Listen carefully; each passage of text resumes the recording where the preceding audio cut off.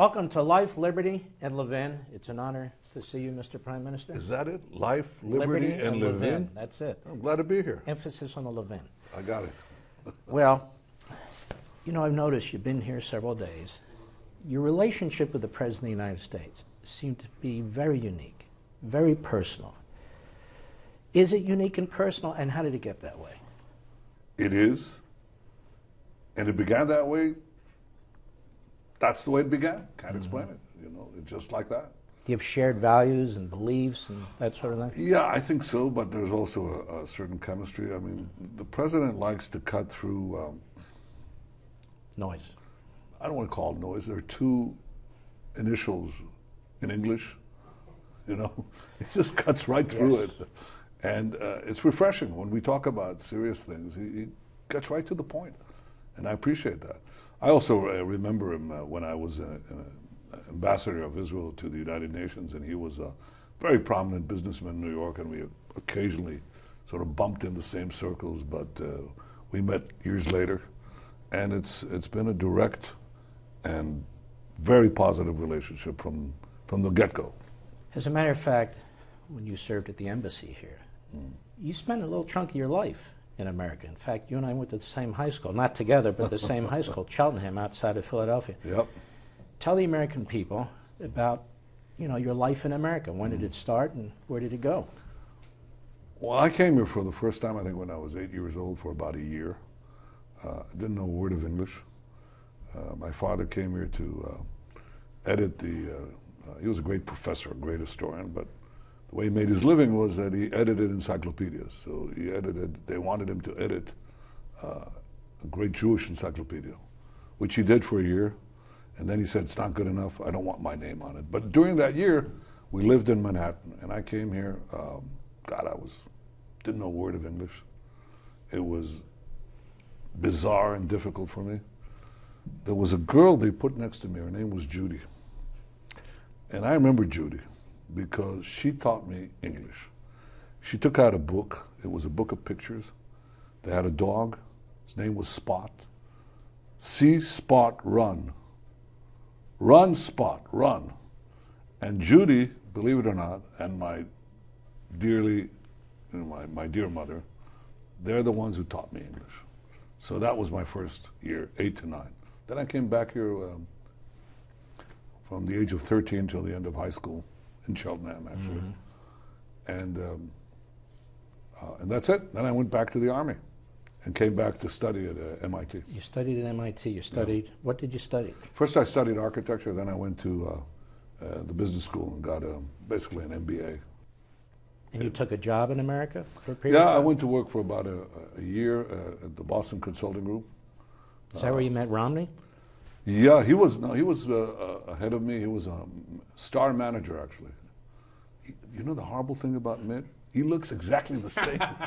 he hasn't changed. His hair all. hasn't moved. Nothing has moved. He he looked the same, and it was a very good place where, to be honest, I mean, I thought uh, that year that I spent there, uh, in the presence of the founder of the Boston Consulting Group, was a real genius. He was a very eccentric genius. His name was Bruce Henderson. And I remember that I came in on the first day. Never been to a business thing. I was, uh, you know, I spent five years in the army. I was a, uh, an officer. I was a soldier and a commander in a special forces unit. Went to MIT, finished my undergraduate, finished my graduate studies, get into this consulting firm, and the first day, Bruce Henderson, this you know very imposing figure, must have been in his early 70s, a Virginian. He tells me, "Come inside, shut the door, sit down," and he says, uh, "You know, you're not going to be here very long uh, because you'll go back to your country. So study everything you can here, because one day it will help the state of Israel." And I thought, this guy is bonkers. What is he talking about? You know, I'm 27 years old, and he tells me to pick up what I can because it'll help the state of Israel. He was absolutely right because I learned something about how economies grow. They grow with the firms. The firms make the economy. You have to make it profitable for the firms to grow the economy. Now, what do we mean by firms? Companies, Companies. entrepreneurs, business people. That's what makes the economy grow. The guys who produce the added value are the private sectors. The guys who consume most of that is the public sector. In order to have the things that the public sector needs, like an air force or roads or things like that, or other things, okay? You need to have a robust private sector. I learned that more than anywhere else at the Boston Consulting Group. And part of your career in the Israeli government has been on the financial side. Yeah. When my family and I came to Israel, the 50th anniversary of the liberation of Jerusalem and the unification of Jerusalem, I saw all these cranes. I saw this building going on. I saw these skyscrapers with names of American technological companies on them and so forth. Have you applied those policies as, as prime minister and so forth in Israel? Uh, with a vengeance, I'd say. I mean, I'm, I'm a great believer in free markets. And one of my missions, my two missions, was to free up the Israeli market, the Israeli economy, so that it becomes a free market economy, to unleash the genius that is embedded in our people. The sparks fly out the minute you, you open up uh, the marketplace. You allow enterprise, innovation, risk to fail or succeed. And I had, a, I had to do a lot of reforms. I did that uh, as prime minister, and then subsequently as finance minister, and then subsequently as prime minister again and again and again. We're still doing it. So the Israeli economy has been growing under these reforms consistently at about between four to five percent a year, uh, and the GDP per capita will probably catch up with Japan in a, in a couple of years. Israel. That's a big deal. That's a big deal. And you but particularly in technology, there seems to be a huge growth in Israel. The, the, the amount of technology that is developed in your country, and yet it's a tiny little country, and you sell it to, you know, you work with countries, massive countries like India and so forth. That's obviously part of your plan, right? It's very much my plan. It, it, it says, first of all, technology by itself doesn't do anything. You know, you want a country that had great scientists, great mathematicians, great physicists, great metallurgists. It's the Soviet Union. Didn't do anything. Mm-hmm. But if you took one of these guys, you know, smuggled him out, put him in Palo Alto, you know, within two weeks he was producing a lot of added value. He was producing wealth. So technology without free markets doesn't go anywhere. Israel had technology, but it didn't have free markets. It had technology because the military, especially military intelligence, uh, produced a lot of capabilities. But unless you open it up so people could start their businesses, these incredibly gifted young men and women who come out of uh, the army or the Mossad, they want to start their startups. Well, they can't. If you have to pay 70% tax, it's not going to go anywhere. They're going to go elsewhere. So one of the things that I did the minute I became prime minister and then finance minister was to enact an enormous number of reforms, like several dozen reforms, that opened up the economy, reduced the tax rates, reduced spending, and cut the bureaucracy. I had to. It was a big challenge. You know, how do you explain this to the, the people of Israel? You know, so it took about two weeks to format uh, an economic plan, and then I had to explain it to the public. And I said this. I described my first day in basic training in the paratroops. And the commander lines us up in a big field, the whole uh, company, and he says, We're now going to take, we're going to do a special race. You, he points at me, Netanyahu, you pick up the guy next to you, put him on your shoulders. And the next guy, you put the guy next to you on your shoulders, and so on.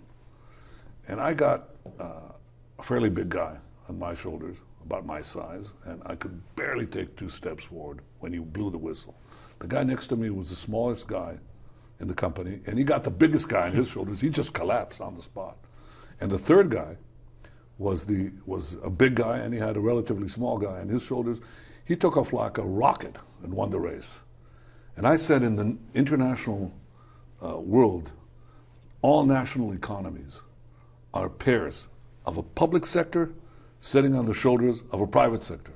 And in our case, the uh, private sector was collapsing under a public sector that got too fat. So we have to put the fat man on a diet, and we have to give a lot of oxygen to the thin man below. That's called tax relief. And we have to cut all the barriers to the competition, all the regulations that prevent that guy from running forward. This became known as the fat man, thin man. Taxi cab drivers could recite. They still could recite it. And that's true. That's essentially what we ended up doing. What I ended up doing was to trim the public sector, uh, help the private sector, and remove the barriers to competition, which I still have to do. I fight regulation with machetes all the time. The, uh, in addition to the economy, I watch these votes in the UN. Mm-hmm. I see the president of Guatemala. Mm-hmm. I see the leader of India. And what I notice observing Israel over the last several decades is you obviously have a big push going on where you want to take Israel's case all over the world, including in our hemisphere in America, mm-hmm. in Asia, India, and so forth. Has that borne fruit? It appears to at the UN and some other places. Well, it's certainly borne fruit in, in international uh, relations because having having reformed the Israeli economy, we, we got the prowess of technological advance because technology with free market definitely works, and with the you know this this amalgamation of big data, artificial intelligence, and connectivity, Israel is creating industries out of thin air, literally out of thin air.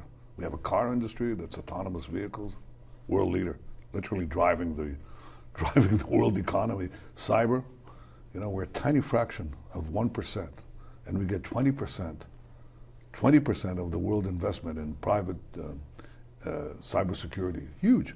Uh, on the other side, we have security.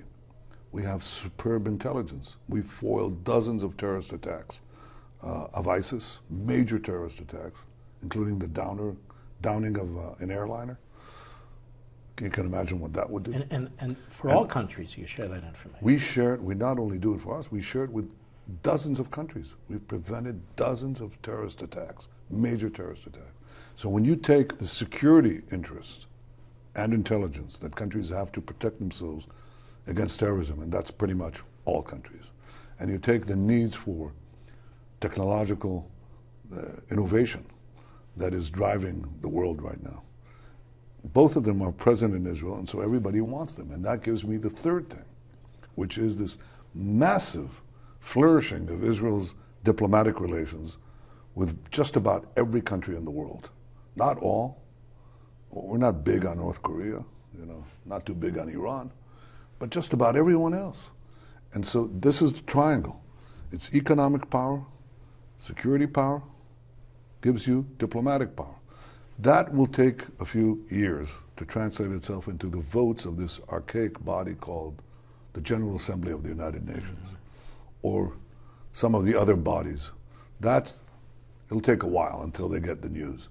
But it's happening all over the world. So Israel has never been stronger militarily, economically, diplomatically, and it's a very deliberate policy. And actually it begins with economics. Just a reminder don't forget to watch us every weeknight on Levin TV. Go to crtv.com or call 844 Levin TV.